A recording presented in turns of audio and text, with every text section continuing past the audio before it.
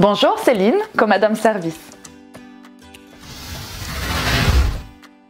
La garde d'enfants à domicile, comment ça marche?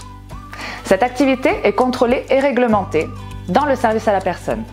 Pour intervenir auprès d'enfants de moins de 3 ans, nous devons justifier d'un agrément. Nos intervenants doivent justifier d'expérience, mais surtout d'un diplôme reconnu. À domicile, nous nous adaptons à tous les besoins. En journée ou en demi-journée, en périscolaire ou péricrèche, matin ou soir, ponctuellement en journée ou en soirée, pour que les parents puissent profiter d'un moment à eux. Il y a des aides de la CAF pouvant aller jusqu'à plus de 800 euros par mois. Les cumuls de garde domicile-crèche sont possibles en conservant la totalité des aides pour le domicile. Cependant, le cumul assistante maternelle garde d'enfants est déconseillé. Sur le restant à charge, après déduction de ces aides, vous bénéficiez du crédit d'impôt de 50%.